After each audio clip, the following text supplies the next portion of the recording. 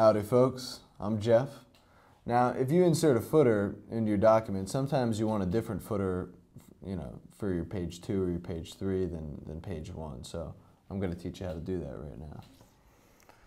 Now we got this blank document here. You're going to go up to view and you're going to view header and footer. I'm going to type in header just because. I'm going to type in down here footer one.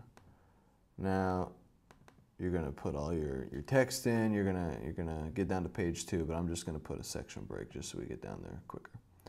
So page two, and then you'll see the footer is exactly the same. So you'll, you'll double click on that. And you'll go to the header and footer tab right here.